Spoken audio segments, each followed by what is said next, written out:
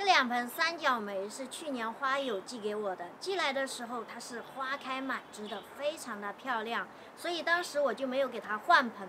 等它这个花开败之后，它又运的花蕾来了，所以又没有给它换盆。等到后面的话，我就开始打造这个露台了，没有时间给它换盆，导致现在这一棵的话已经是死掉了。这一棵的话还有一点点活力，如果再不给它换盆的话，它很有可能也会死掉。为什么会这样呢？主要就是因为这个土不行。这个土是那种非常粘重的红壤土，里面没什么颗粒。这种土的话不透气，而且的话浇水的话不容易浇透，浇透之后又不能不容易干，所以这种土是很难养好花的。所以现在我赶紧去抢救一下这一棵。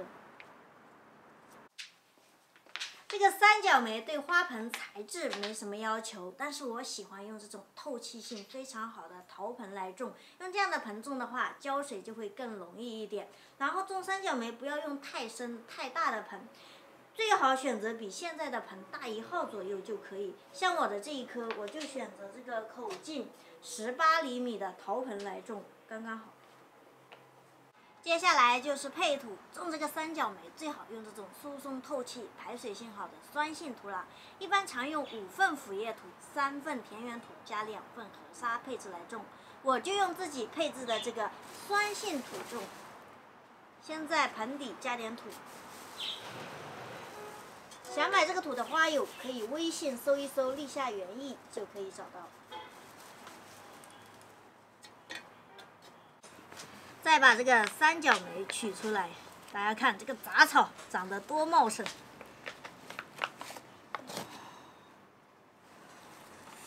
根还是不错的，不过很多根都是这种杂草的根。把这个土，我用水泡一下吧，这样就可以了。再把这个过长的根给它剪掉。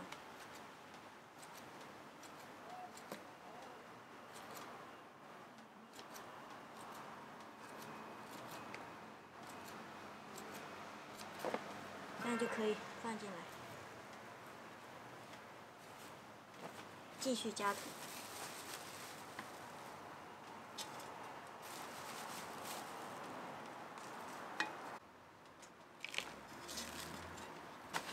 然后提一提，拍一拍。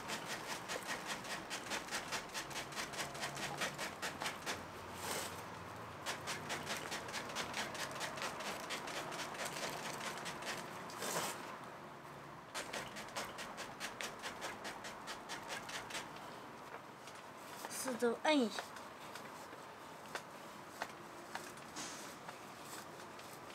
再加点，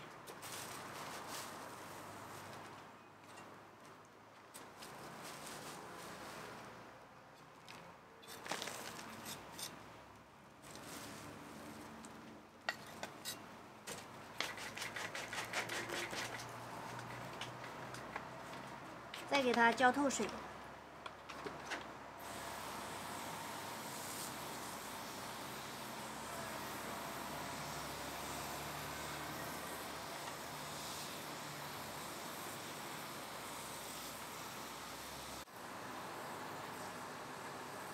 浇透之后，再把它搬去缓苗。